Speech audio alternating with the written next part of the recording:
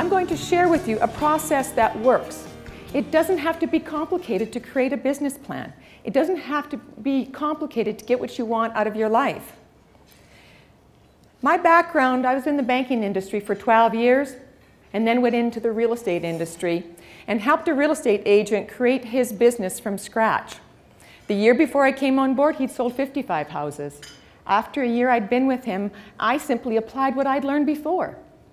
That's why I'm going to share with you today. You have so much knowledge inside of you. Sometimes it's just a matter of applying what it is you already have. You really are like a diamond in the rough. So I applied some of the basic skills that I knew and processes in an office, and after one full year, we closed 115 transactions. I continued to apply different processes and systems and hiring the right team members because it's team members that can provide you with leverage. It can, team members that can lift you up and help take care of some of the tasks that you don't necessarily need to do. Going into the third year, we closed 222 houses. We continued to grow and got some national, international exposure. And I just kept doing what I knew to be right. I followed what I learned in the banking industry, create a plan, put the right people in place, lead with integrity. And the following year, we'd close 300 and some transactions. Now, people say, How do you do that? How does that happen? Well, it starts with a plan, it starts with a vision.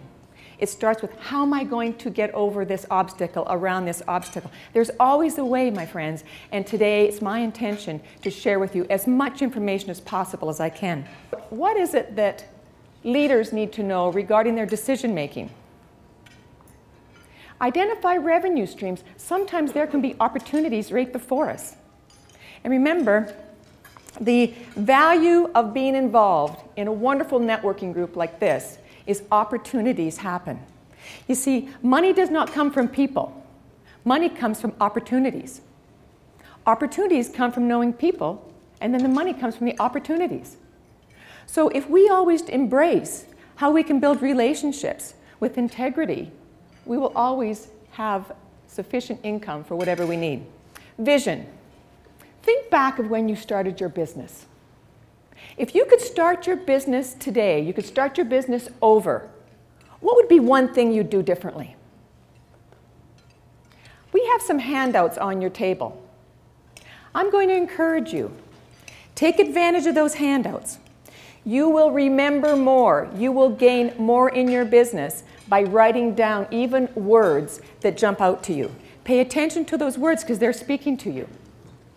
So again, think, if you were starting your business over today, what would be one thing you would do? And the first thing that jumps into your mind, write that down. What is your vision? What do you want for your business? What would you like for yourself? When you gain clarity on your vision, next comes your mission.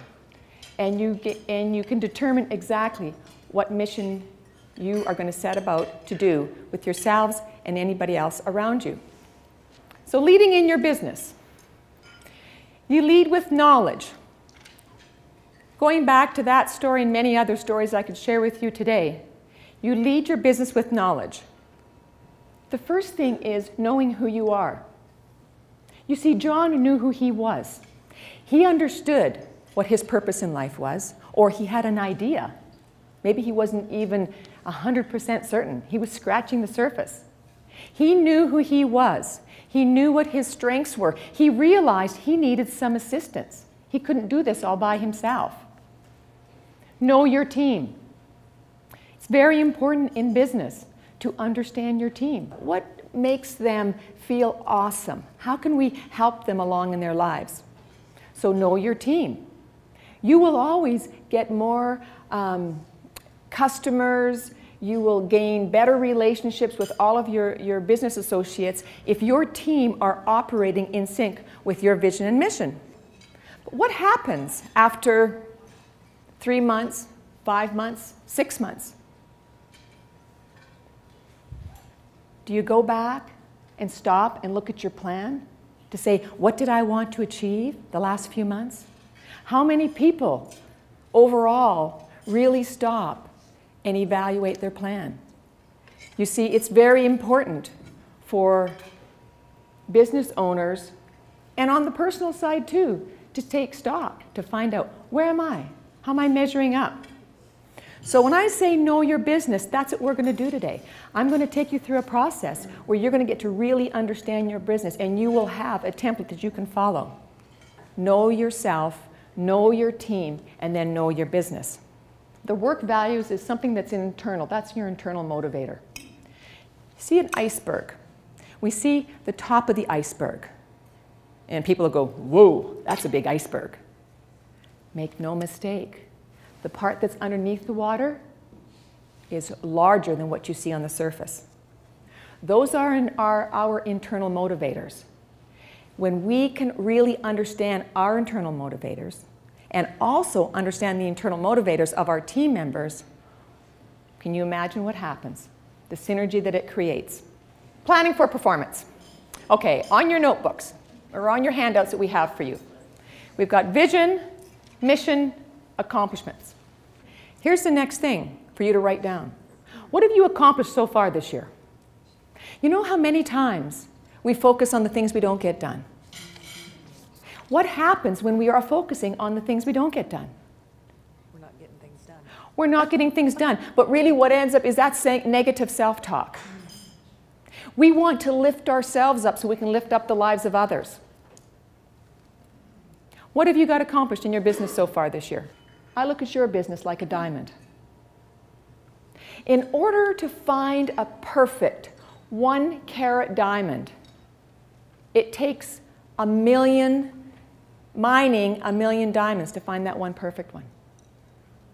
In order to find a two carat diamond, it takes five million diamonds to find it. All the rest of them are used for industrial use. When we think about the process of a diamond, you know, we see them in the store and they're shiny and they're beautiful.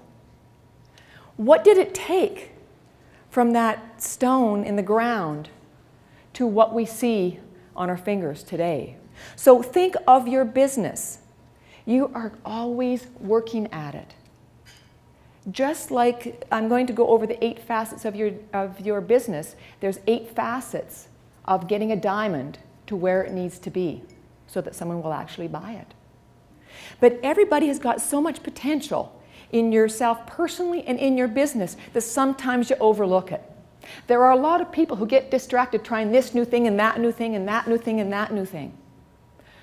Know yourself, know your business, and set out with a plan. Planning for performance and profit. Why performance? Does an athlete achieve any medals without really getting out there and performing? Do they achieve without working and having a plan and having a coach to help them come alongside of them or a mentor to help them? So, the first thing about any business, item number one know your numbers. Know your numbers. What is your financial snapshot? Under the financial snapshot on your piece of paper, write these words revenue producing activities. If you are plugged into revenue producing activities, they will help you reach your financial goals. Many individuals are not clear on what are my revenue producing activities. Well, give us a call after. We'll help you go through that process and determine it. The next part into marketing is going to bring some reality to what works for you that helps generate revenue. So again, be clear on your financial snapshot. Marketing. What is it that marketing really does? It spreads the word about who you are. It spreads the word about what you have to offer. In your marketing business plan, it's important to have clarity on what are you doing? Many times, and any of the people who've had business for a long time, they'll spend money here and they'll spend money there. This is what you want to do. Write down all the areas you spend money on marketing. The two largest areas that cost you money in your business, but also provide you the most leverage, is marketing and your team. And you need to know your numbers and know what works for you. It's really, really important for the success of your business. So, this is what I'm going to encourage you to do. Write down your list. When you get back, if you don't have a buddy to help you do this, then call us. We'll, we'll help you. This is what we do in our company. And you go through and determine exactly how much you're spending in those areas, and then you take a look at your clients, the clients you've closed from this past year.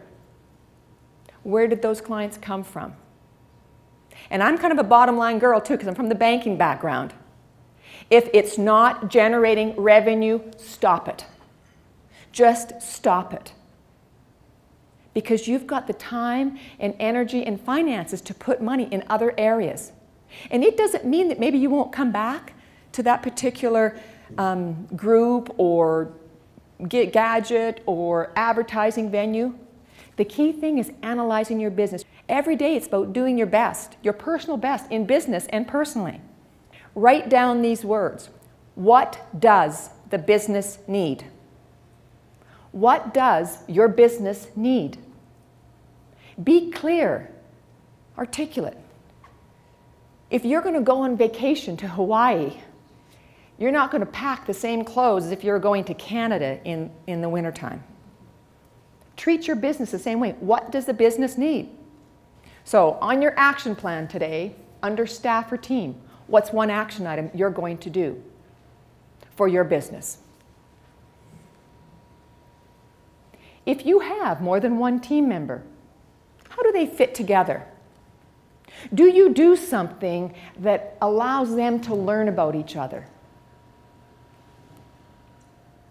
Using, using a profile, uh, but sharing the information, making sure that your team members know your vision. In the story of John sharing his vision with Samuel and Will, they're all team members. See, everybody just plays a different role in a company. So for your team members, do they plug in like nice pieces of the puzzle? Whether they're independent contractors, virtual assistants, or full-time employees. You know, doing a team building exercise, which we do across the nation, has, has brought about not only a shift in focus for people personally, but also in the business, because it's how they all interrelate. Many times when you're happy in business, you'll be happy in your personal life and vice versa. So everything I'm sharing with you today, take it and say, how can I apply to this personally? The next area of your business, your office. Where do you work from? Where do you perform the largest percentage of your activities that's related to your work? So ask yourself, do I have enough space? Am I leasing it?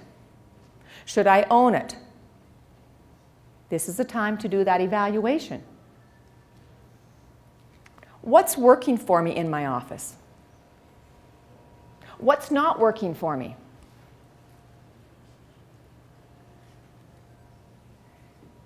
Everybody needs a special space. There's, I had the pleasure of meeting Mike Vance. Many, many years ago, he created the uh, Creative Thinking Association of America. You, some of you have heard it. He did a lot of work with Walt Disney, a lot of work. And we were at some sessions, some private sessions with him, and he said, check out your environment. What is your environment saying to you? When you go back, look at your, whether it's a desk, whether it's your whole office, what is your environment saying to you? Is it conducive to you? Does it energize you? Or when you go in there, do you feel like burdened, like, oh my gosh, I've got so much paper, I've got all this stuff? Pay close attention. Now, write down what are you going to do about your office? What would be one thing you do regarding your office space? There are some individuals who have had their offices feng shui and they have seen great growth. Some say, well, I've had it feng shui and I just feel better. Well, that's good because guess what?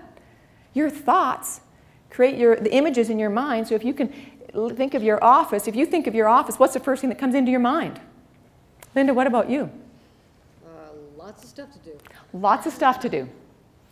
So when that thought comes into your mind, generally you get an image of what your office looks like. And it, it can either be a real positive feeling or a negative feeling. Pay attention to that. Because your feelings or your emotion is what drives your motivation. Now, your motivation gets the gears going, it gets things into action, puts things into action, doesn't it? And what brings about results in our life? Actions. So remember, what am I thinking about? And when that screen comes across your mind, that's the image you have. And it's going to, it's going to create um, a sense within you.